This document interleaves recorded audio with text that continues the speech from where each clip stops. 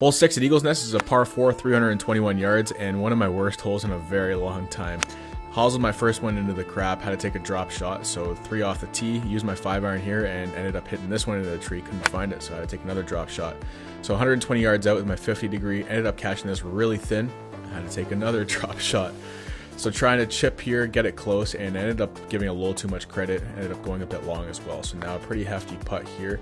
Ended up misreading it and hammering it a bit. So then I had to come back, and thankfully I buried this one for a nine. Oh,